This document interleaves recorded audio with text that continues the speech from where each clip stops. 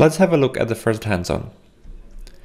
We will execute CoreMark on STM32L5 Discovery Kit, and we'll do that at two various frequencies, at the maximum 110 MHz and then at 24 MHz.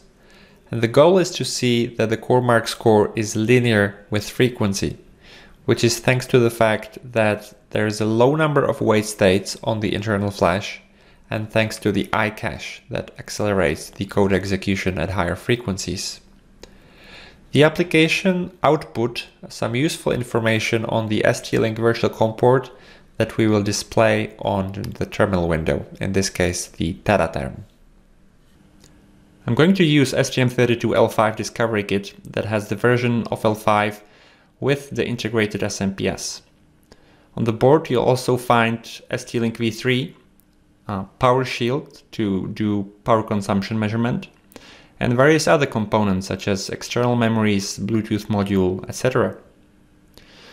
To display some runtime messages during the CoreMark execution, we will use uh, the virtual COM port of the ST-Link.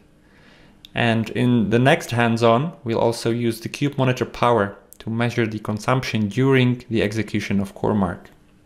In the link underneath this video, you will find all the materials to be able to reproduce everything that you see in this hands-on. Throughout the video I will only use binaries, but you are free to have a look inside the source code later on. Please make sure that you unzip the folder in the path with no spaces. This is especially important because of the batch script that opens the TeraTerm window. Let's start by connecting USB cable to ST-Link V3 connector. Then we should make sure the jumpers and switches are in the correct position. The jumper at the bottom right should be in the rightmost, rightmost position, uh, in the position 5 volt from the ST-Link. And the switch in the middle of the board should be in the right position also on the VDD. This will make sure that the target microcontroller is properly supplied from the ST-Link. Then go to the hands-on folder and start the TeraTerm script. This will launch the standalone TeraTerm that is included inside the tools folder. If you have troubles doing that, just open your preferred terminal window and set up the connection parameters as highlighted in the slide. So the USB cable is now plugged into the ST-Link. Uh, we can connect to the target and flash the two binaries.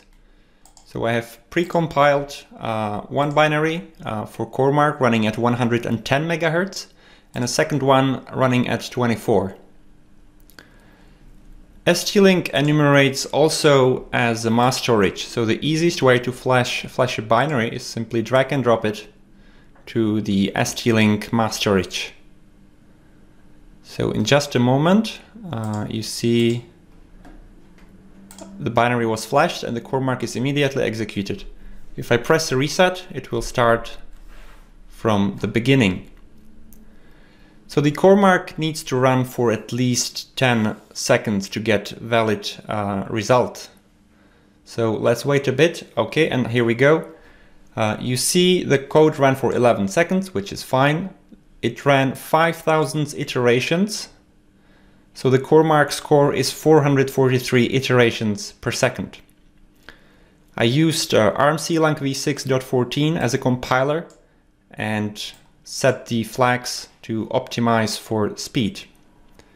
The code is of course running from Flash and uh, at the very bottom we see the confirmation of the frequency uh, which is 110 megahertz. So let's now run the second binary I will just flash it in.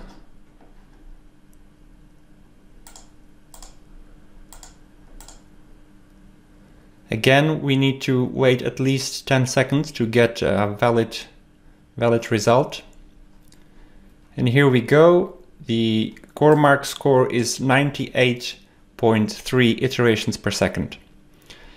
So if we divide uh, the CoreMark score with the frequency, we get approximately uh, 4 for both cases, which is a proof that the relationship is in fact linear.